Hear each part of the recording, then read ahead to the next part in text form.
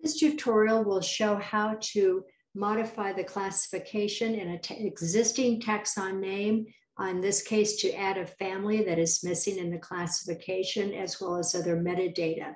The name that we have chosen, Cypraea tigris, the tiger cowrie, is as we can see in use by a number of different collections.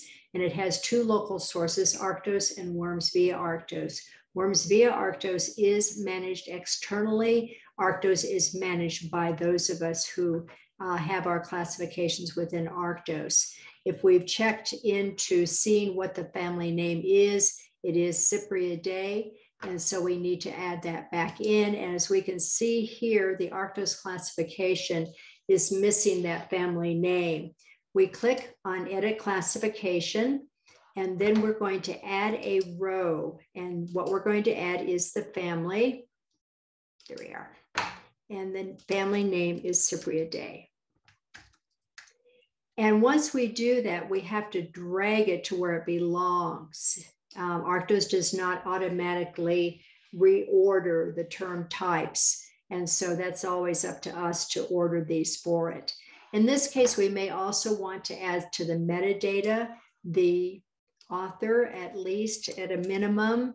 And we can copy and add a row here, put in the author and paste that in and save those edits. And now when we return to our taxon page, we'll see that the Arctos classification is more complete than it was before.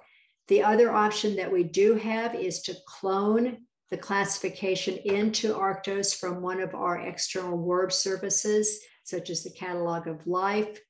The Fishbase, a whole group of these is available to us.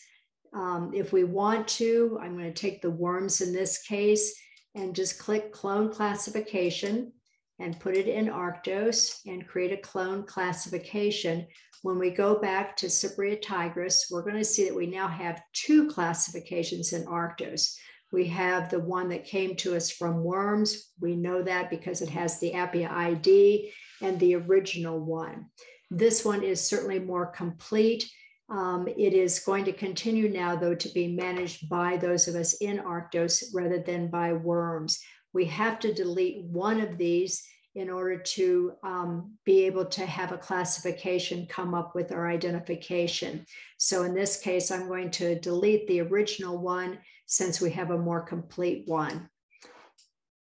And now we have one classification in Arctos, which has been updated. One of the nice things about using the worms is that we click on the Aphia ID, it will take us directly to the worms taxon page with all of the details about that taxon.